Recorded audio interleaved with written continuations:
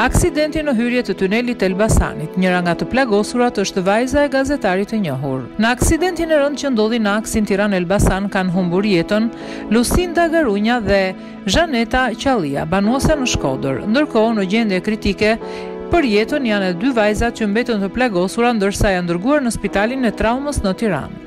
Denisa Dibra, e bija e Edmond Dibrës, gazetar në Shkodër, është një prej vajzave që ndodhet në spital. Aksidenti ndodhi në dalje të tunelit të Krrabës, ku një mjet tip Benz goditi mjetin tip Volkswagen me të cilin po udhëtonin katër vajzat. Policia bëri të mundur edhe arrestimin e shoferit të automjetit Benz, që u identifikua si Behar Pema, i cili dyshohet të ketë qenë i dehur në timon.